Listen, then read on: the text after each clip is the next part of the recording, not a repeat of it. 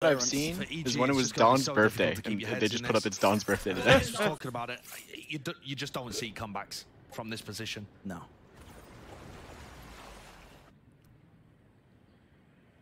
Close to the double doors here. Shorty in hands.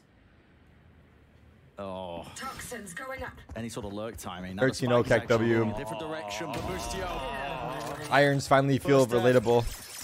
Bro, this is a good, great thing for the scene, dude. Now the spike is heading to the opposite side, so they've sold a fake. Y'all motherfuckers are getting 30 on the get into a daily, and they getting 1302. There's hope for you. I think that Trailblazer's going to give them the idea, but Yeah. there's no way Loud make it here before the plant goes down, surely. 35 seconds left. There's no urgency from EG, is there? They just are still making sure that they clear all of this, and you can feel that hesitation in their play. left. 29, dropping down, but a spike's going to be planted without.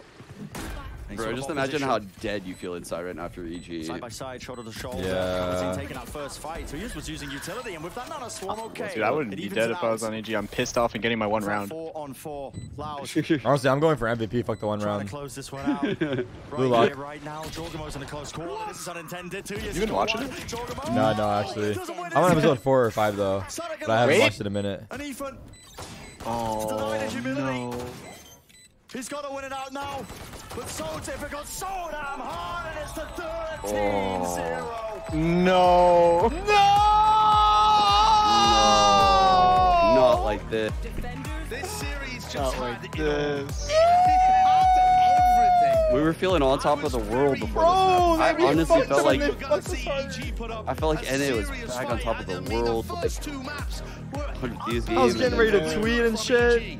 Our region fucking sucks, man.